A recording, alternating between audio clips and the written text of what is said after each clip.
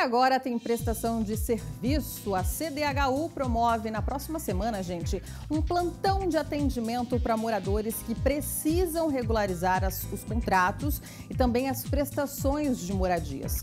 Nós conversamos com o gerente da CDHU da região, o Lucas Ganga, que passou toda a programação.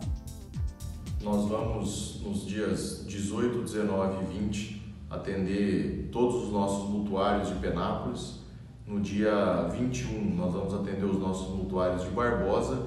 E no dia 25, nós vamos atender os nossos mutuários em Havaiandava.